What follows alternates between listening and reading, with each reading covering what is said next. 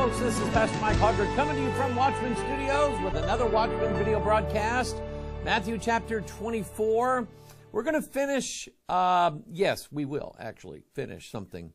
Uh, we're going to finish the, the teaching on the gathering. And I've got some really interesting things to share with you on this. Um, and it's something that I've shared years ago, goes back years ago. Um, but you, you know, you always study more. You always learn more, not just from uh, you know things you read about certain symbols or whatever, uh, but about things you know in the scriptures. Read a verse dozens and dozens and dozens of times, and you're still, if God blesses you, you're going to find something new just about every time you read it. You're going to find a new application, or you're going to find something actually in the verse that you didn't think was in the verse, or didn't know it was there, or don't remember it. And that's the case today. Let's start out with our verses of scriptures. Uh, actually, the really two parts of scripture Matthew 24 and what I believe is its companion, 2 Thessalonians 2, Matthew 24, verse 29. Immediately after the tribulation of those days shall the sun be darkened, and the moon shall not give her light, and the stars shall fall from heaven, and the powers of the heavens shall be shaken, and then shall appear. Oh, I want to see that. And then shall appear the sign of the Son of Man in heaven. And then shall all the tribes of the earth mourn. And they shall see the Son of Man coming in the clouds of heaven with power and great glory. And he shall send his angels with a great sound of a trumpet, and they shall gather together his elect from the four winds, from one end of heaven to the other. You know, I just I, I watched uh, a few days ago a movie. I don't know how many years it's been out. Not too many years. Uh, relatively new movie called The Darkest Hour, I believe. It's with Gary Oldman, and Gary Oldman plays Winston Churchill in this at uh, the, the time that he is asked by King George to become the Prime Minister of England. And of course, you know, their government, little different from ours. Uh, but anyway, uh, he's asked by King George to become prime minister, and he is trying. Churchill is trying to gain support for not capitulating to Hitler, for not negotiating, for not saying, "Hey, okay, we, we, we don't we don't want you to bomb us. You know, we want our children to be." When people give up, when people give up their liberty, their country for safety. They deserve neither. That's a statement from one of our founding fathers. I happen to agree with it, especially in the, in the area of Christianity. When you give up your country, which is heaven, and your liberty in Jesus Christ, which is, was bought by his blood, when you give that up for safety, peace and safety, you deserve neither. But anyway, um, there is this scene where King George goes to number 10 Downing Street and he goes to, I guess, to a basement room and Churchill's down there and he's, he's about half drunk and his shirt's untucked and his hair's all messed up. You know, he's just, he doesn't know what to do anymore. And I don't know how historic this is, but King George goes and he says, Let me give you some advice. Go, go to the people, find out what they want. So Churchill, uh, on his way, I guess, to somewhere in his private car, stops and gets out and goes down into the London Underground, which is their subway system. And he ends up walking into um, a train, a subway train, and people are just going, you know, they know who Winston Churchill is. I mean, they've seen him, they know who he is. And they're just like in awe that the Prime Minister of England is sitting here on the underground with common people. I mean, this man is a Lord of England. and he's sitting there among common people. And then he starts talking to them, finding out their names and who they are and what they do for a living and so on and so on. And their eyes are just lit up like this. And I'm saying all this because then shall appear the sign of the Son of Man in heaven, and then shall all the tribes of the earth mourn, and they shall see the Son of Man coming in the clouds of heaven with power and great glory. I'm going to be like those people on that far far better than those people on that train with Churchill. I'm just going to be going. It's Jesus Christ. My Lord, if there's actually time to say that in the moment, in the twinkling of an eye at the last trump. Okay? People, keep going. We're going to see Jesus one day. Keep going. Don't give up. Don't quit. Don't stop. Yeah, I know the devil's beating on you. He's beaten on me before. Terribly. But I'm telling you, don't quit. The rewards are going to be worth the pain, the trial, the tribulation, the suffering. I guarantee you they will be. Guarantee you they will be. Now, uh, the next verse, 2 Thessalonians 2, verse 1. Now we beseech you, brethren, by the coming of our Lord Jesus Christ, and here it is, by our gathering together unto him. Let me stop right here for a minute. I don't know if I've made this point. Yeah, I, I know I have. But remember what Paul said. He said the whole body is fitly framed together, connected the, when we're talking about the body of Christ. You know, my foot bone is connected to my ankle bone, and my ankle bone is connected to my leg bone. My leg bone is connected to my knee bone. But if I were to shorten that, I could tell you that my little toe is connected to my head bone directly through the body. And there is no part of my body that does not receive nourishment, does not receive instructions, does not receive uh, ability and strength from the head. No part of my body is left out being connected one to another. So, though we be apart right now, Christians all over the world one of these days, He's going to gather us all together. Now, think of those dry bones in the wilderness that Ezekiel saw. Those dry bones were scattered all over the place. And yet, all God did was shake. That you be not soon shaken in mind. All God did was shake the earth, and the right bones connected to the right places and then sinew, which is uh, tendons and things like that, muscles, tendons, joining muscle to muscle, joining bone to muscle, bone to bone, things like that. All of a sudden now you have a body, but they have no breath. They're not breathing. Then he preaches again the second time. That's the new covenant. It says, Come four winds Matthew, Mark, Luke, John.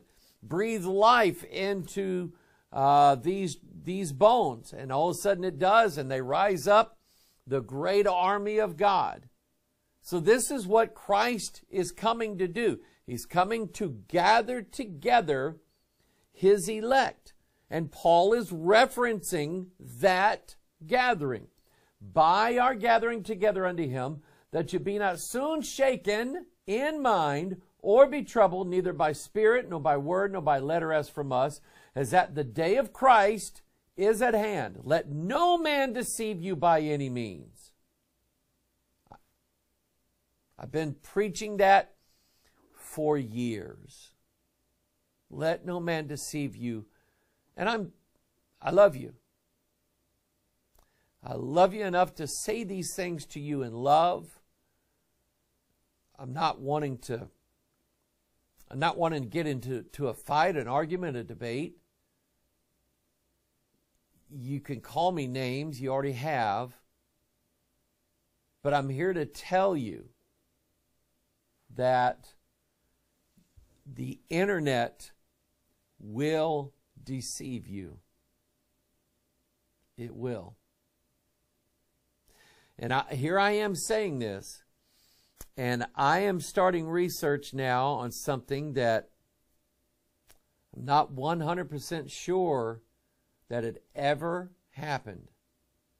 And the only, well, let me back up. A partial source of my information comes from the internet. The rest of it from scriptures. And I, and I will say at the beginning of that, when I do whatever, whenever I do that video, I will, I will disclaim at the beginning everything that you hear coming out of my mouth that comes directly from the scriptures is true. Everything that you hear coming out of my mouth that did not come from scriptures may or may not be true. But it matches what's in scripture. Or I wouldn't do it. Anyway, um, verse 3 Let no man deceive you by any means, for that day shall not come except there come a falling away first, and that man of sin be revealed the son of perdition. So, in Matthew 24, his purpose of appearing in the clouds is to gather together his elect from the Matthew, Mark, Luke, John winds, four winds, from one end of heaven to the other. Second Thessalonians 2 references that gathering and says, hold on a second, he's not going to gather you yet. There has to be a falling away first. Because, and at the end of this presentation, we'll go back to the story of the wheat and the tares. And that's what we'll see. Okay? Is the difference between the two and how they are gathered together and who gets gathered first. All right? Now, what we're doing is we're going through the scriptures and we're looking for places where the people were gathered together because that is a typological prophecy. In other words, here we have the doctrine, Matthew 24, 2 Thessalonians 2, 1 Thessalonians 4, 5, you know, other places in the scripture that refer 1 Corinthians 15 that reference the translation, the rapture, the, the first resurrection, whatever you want to call it. Okay, you want to call it herald. Okay, call it herald. Doesn't matter. Um, but anyway, we're looking at gathering because there's going to be two of them. One is the gathering of the saints by Christ Himself and His angels which could very well be chariots. Okay? Chariots.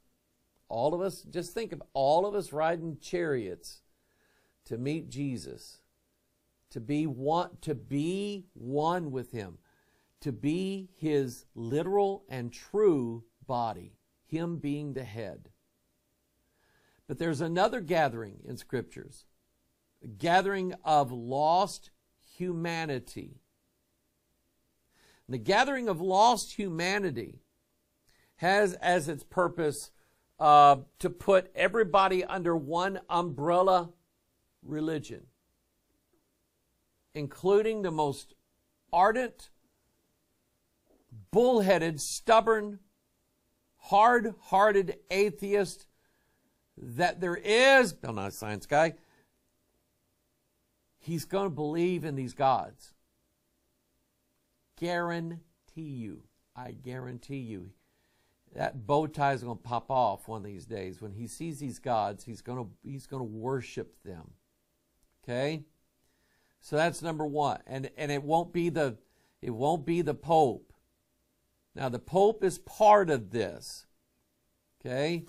But right now, as far as I'm concerned, so is the uh, Archbishop of Canterbury, so is uh, Rick Warren. So is Bill Hybels. So is Kenneth Copeland. So is, so is, so is. I mean, Babylon is not just one particular person, although people try to convince me of that. It's not just one particular person or organization. It's all of them. Uh, let's go this way in the scriptures. Let's go to the right a little bit. In Ephesians 2, yeah, you know what I'm going to read. Wherein in time past ye walked according to the course of this world, according to the prince of the power of the air, the spirit that now worketh in the children of disobedience. They're all in on it. Of course they are. Because they have a spirit of disobedience in them which is the prince of the power of the air, that is, that is guiding and leading everybody to that one world religion, uh, an umbrella of monetary system, possibly Bitcoin related, because it's a financial, Bitcoin doesn't actually exist. There are no coins you carry in your pocket. There's no bills you pull out of your wallet. There's no, I, I don't understand Bitcoin. I don't understand how you mine coins with graphic processor units. I, I don't understand that.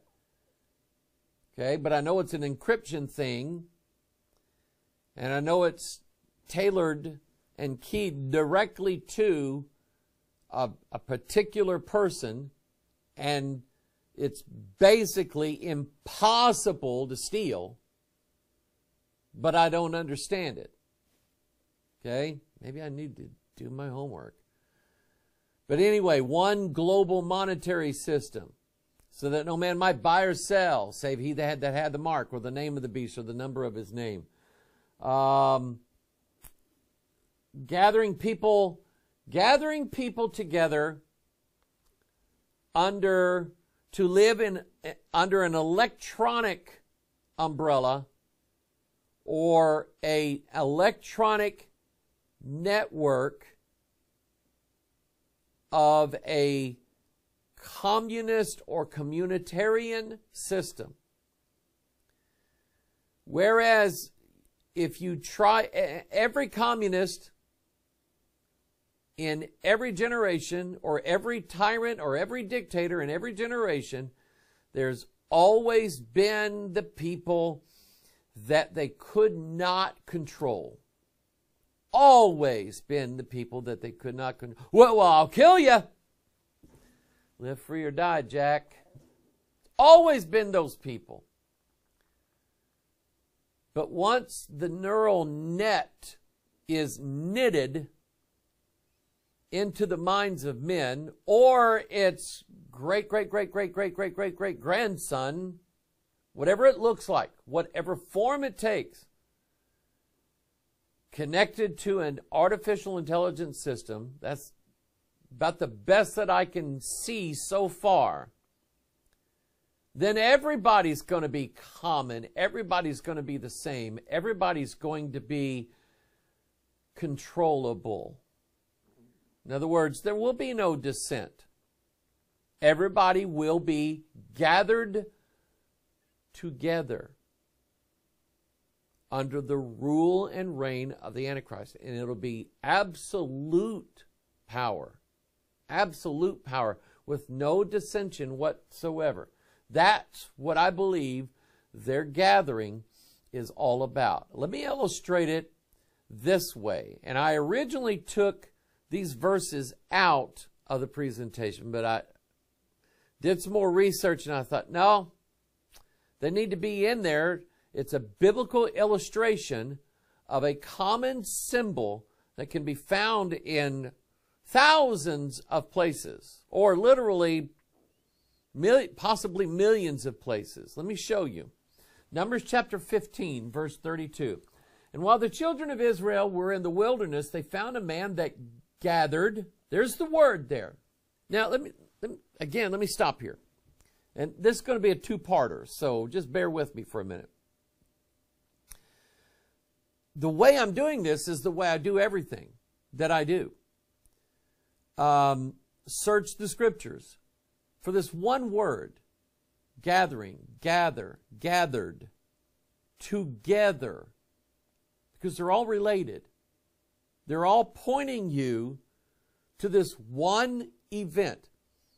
All of these stories are typologies of prophecies that have that these stories are things that have happened to show you what will happen. There is no new thing under the sun.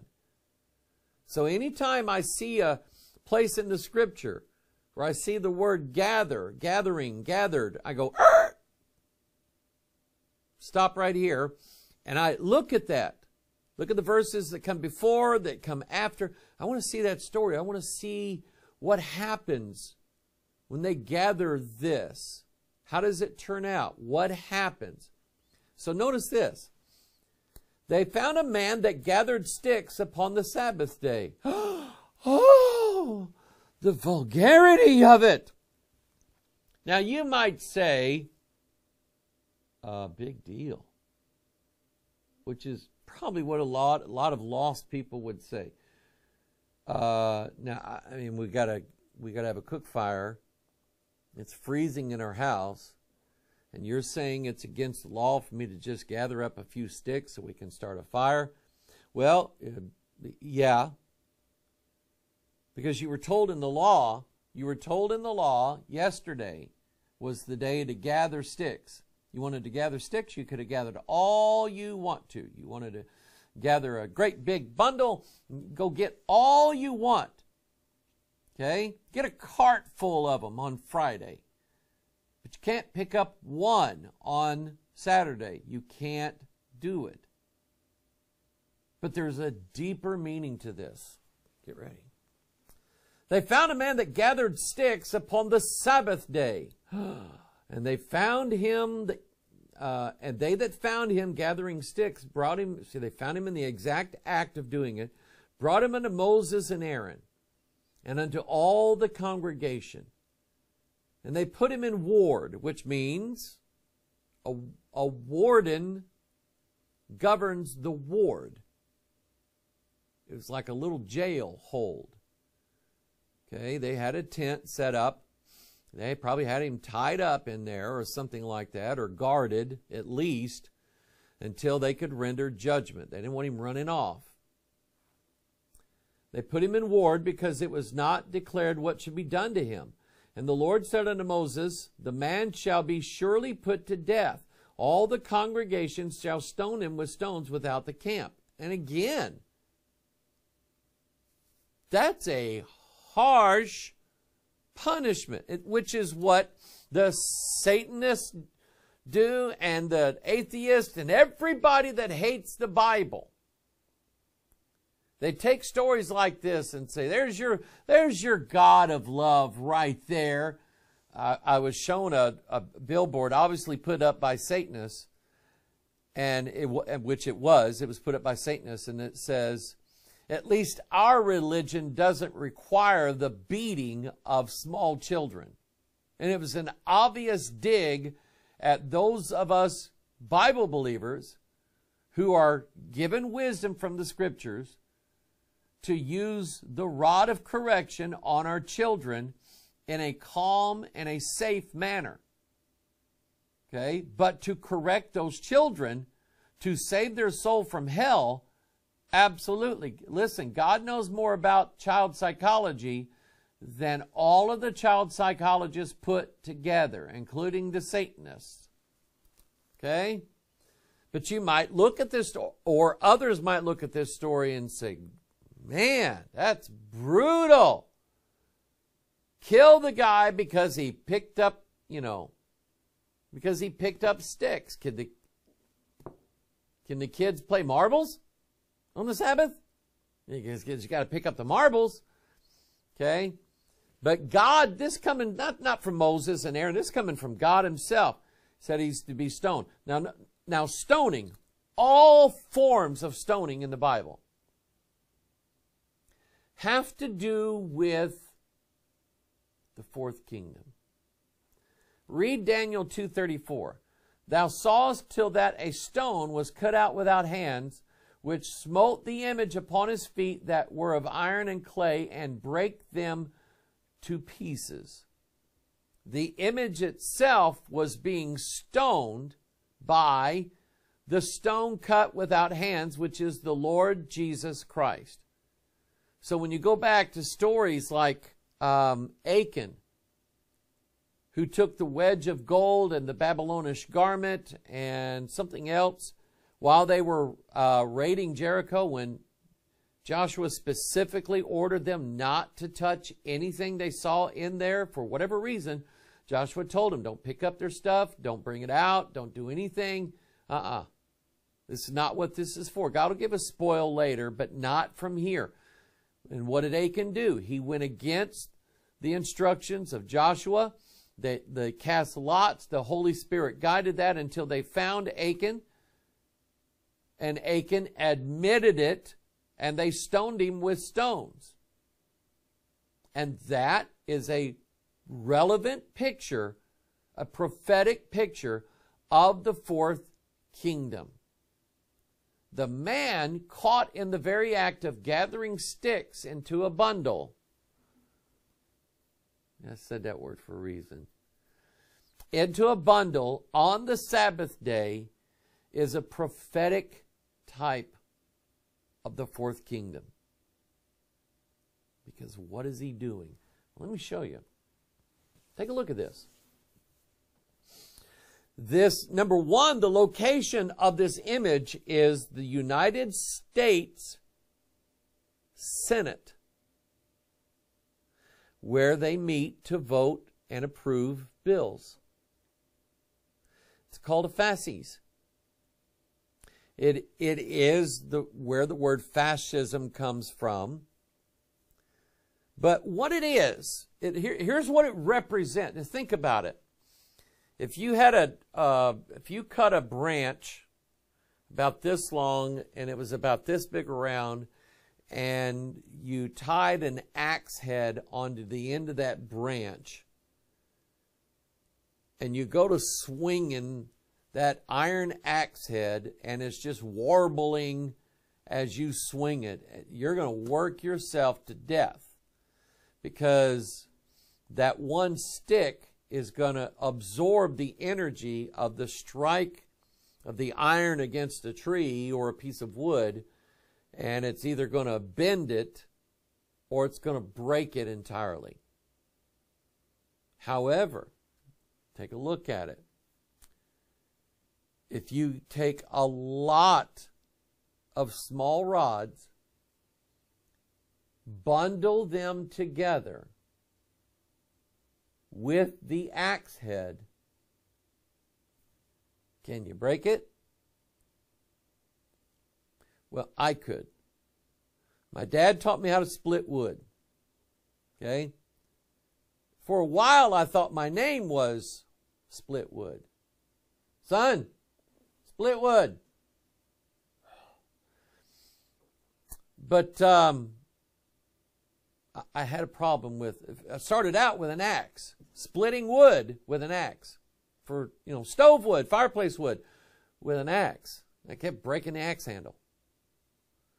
So then dad found a, a splitting maul, big iron splitting maul with a wooden handle. That worked better, kept breaking the handle. So my dad took the splitting maul to work, and on the big dredge, Corps of Engineers Mississippi River dredge boat that he worked on.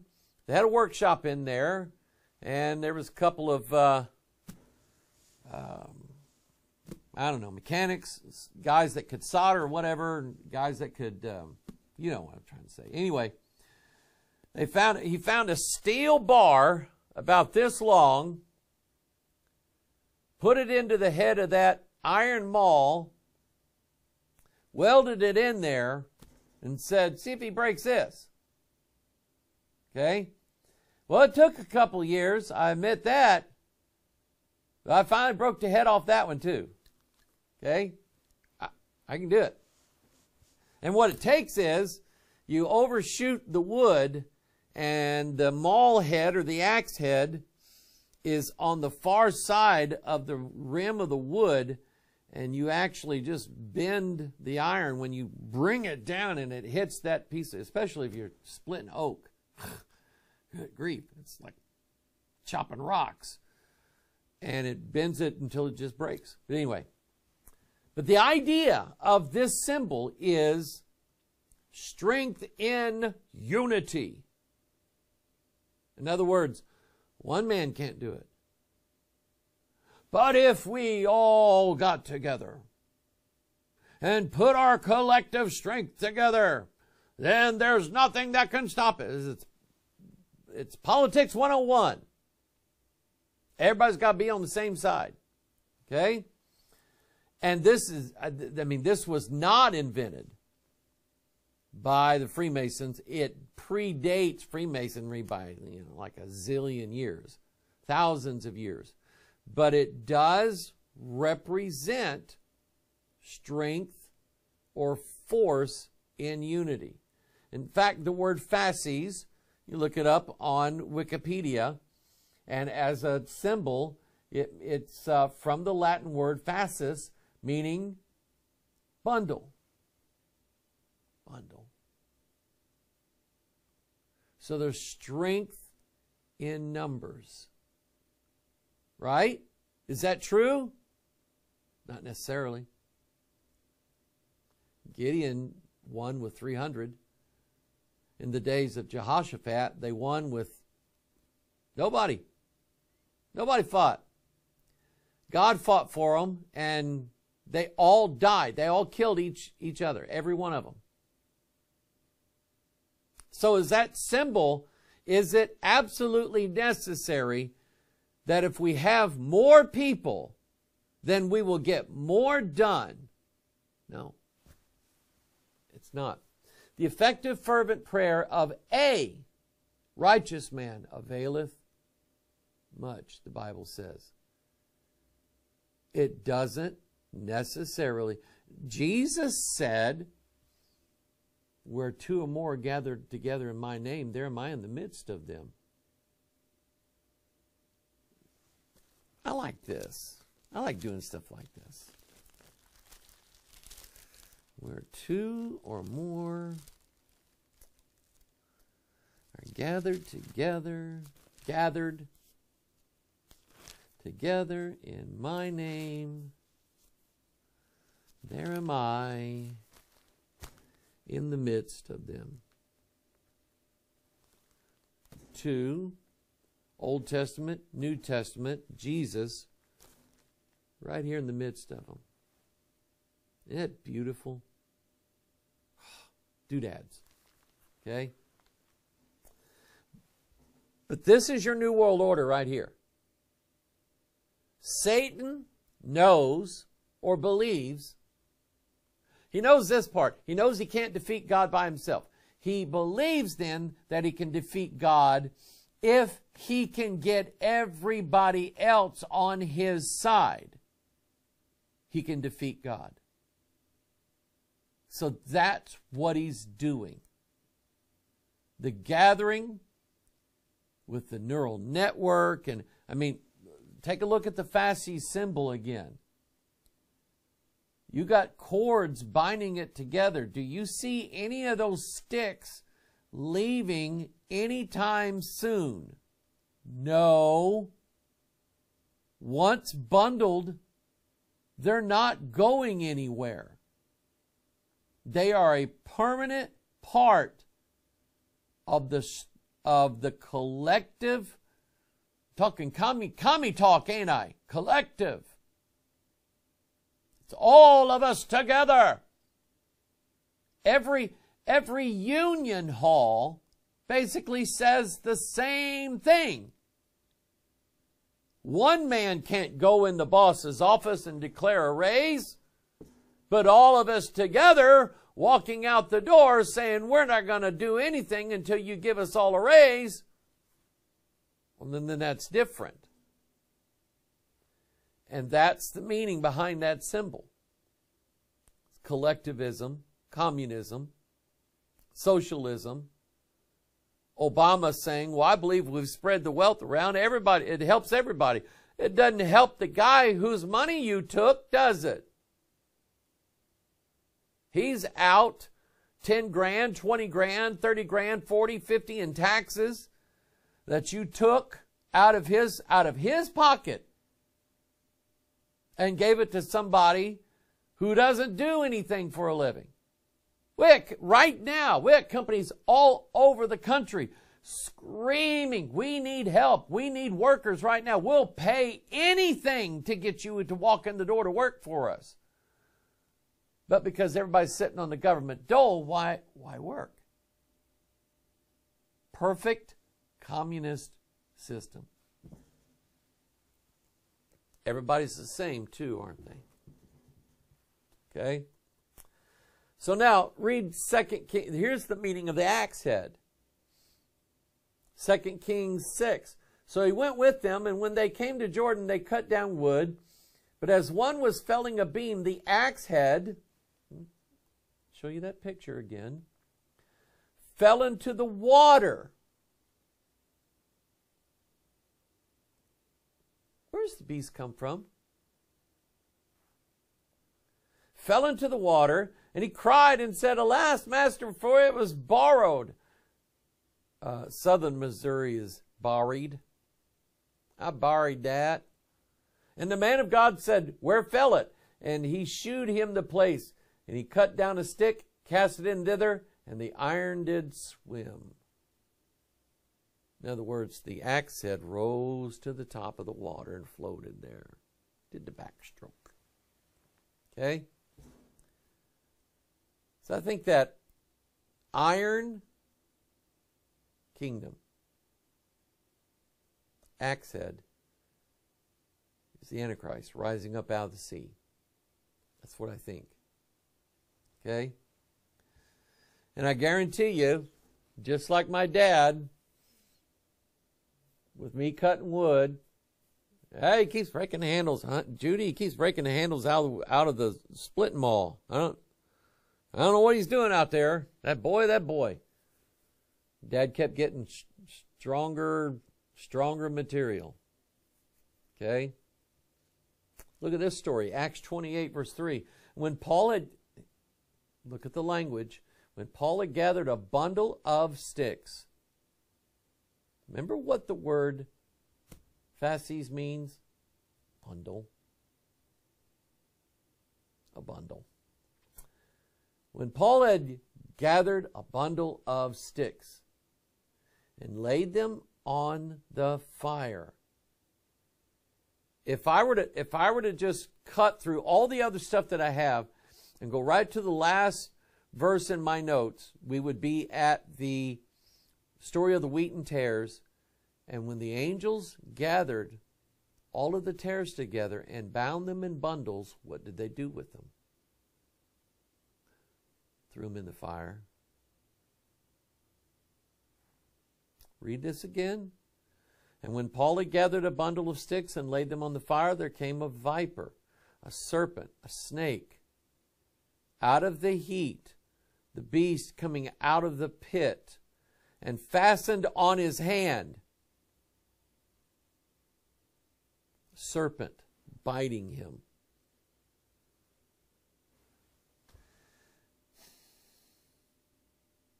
Did Paul end up with the mark of the beast on him? Did Paul end up dying? Did Paul end up getting sick? No. People, please stop being afraid of what you're hearing and reading from the internet. Stop. Our Savior will not allow us, His saints, to receive a mark in our right hand or in our forehead. He won't allow us. It's not going to happen.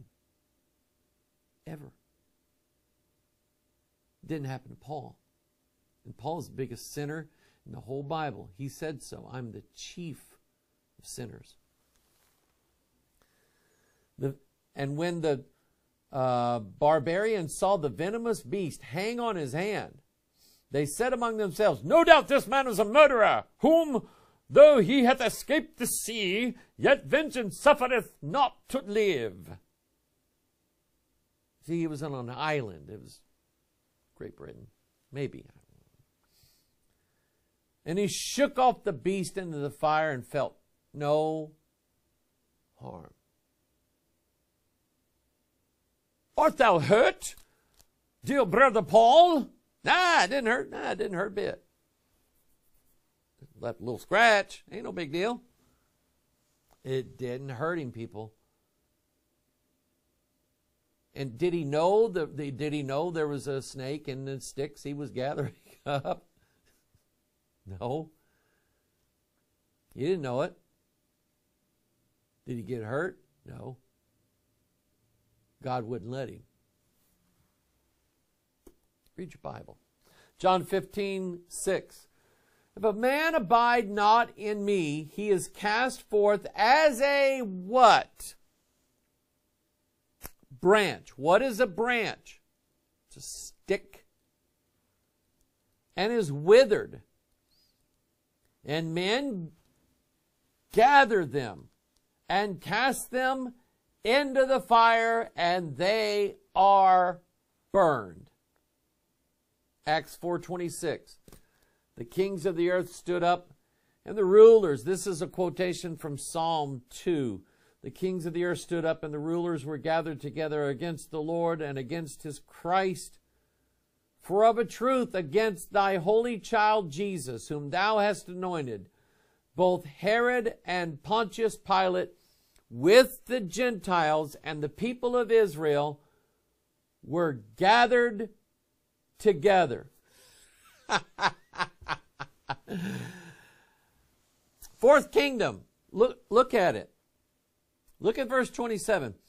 For of a truth against thy holy child Jesus, whom thou hast anointed, both Herod, Pontius Pilate, with the Gentiles and the people of Israel were gathered together.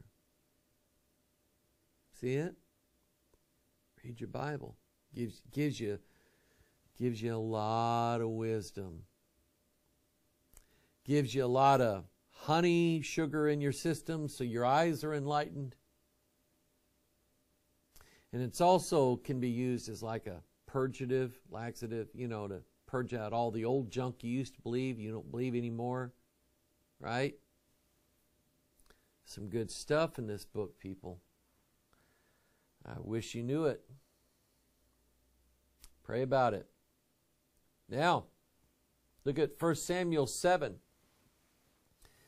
Then the children of Israel did put away Baalim and Ashtaroth and served the Lord only. You know, let me stop right here. Many of you, many of you who used to be in your old life an idol worshiper, generally through the Vatican system, the Roman Catholic Church, you were an idol worshiper. You were worshiping Balaam and Ashtaroth.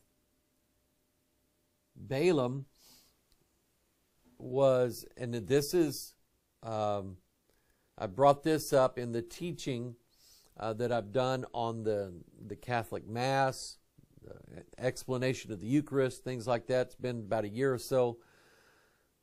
But remember, according to the Catholic Church rules, there cannot be a Catholic Church unless there is a statue of Joseph here, a statue of Mary here, and then a crucifix in the middle. So you hear people saying, Jesus, Joseph, and Mary. Where do they get that from? The idols that they see in the Catholic Church. The three of them. That's pretty interesting. Joseph the father, Mary the mother, Jesus the son. I mean, why else would they put a statue of Joseph in there? I mean, who was he? He's just a, a placeholder in the story of Christ. Somebody had to make the marriage look right, so. Okay? But that's all that Joseph did. He's no some great God to pray to. And yet, what does everybody do? They pray to him. And so they took Jesus, Joseph, and Mary, and they threw them out. The statues, I mean, the idols of Balaam and Ashtaroth. And they threw them out. They got rid of them. They said, We're not going to do this anymore. And that's what has happened with many of you. Is that you came to the play. You, you know, I've had recent conversations with people. I grew up in the Catholic, I went to Catholic school, and I hated it. One lady said, I hated it. I hated it. I rebelled against those priests and those nuns. I hated that place.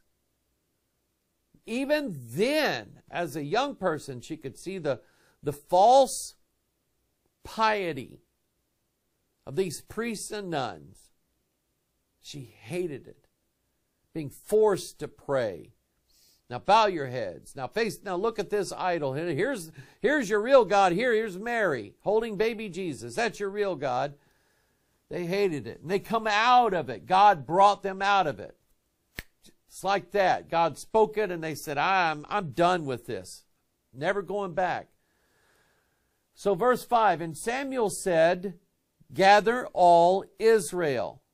Oh, I love it. To Mizpah, and I will pray for you unto the Lord. And they gathered together to Mizpah. Now, Samuel's going to do something weird and interesting here. What is it that he does? And drew water and poured it out before the Lord. Why? Well, I, I got a theory.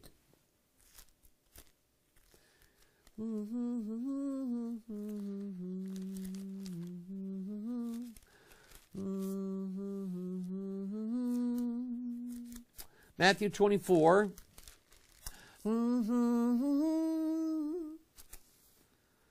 Uh, verse 36. But of that day and hour knoweth no man, no not the angels of heaven, but my Father only. But as the days of Noah were, so shall also the coming of the Son of Man be.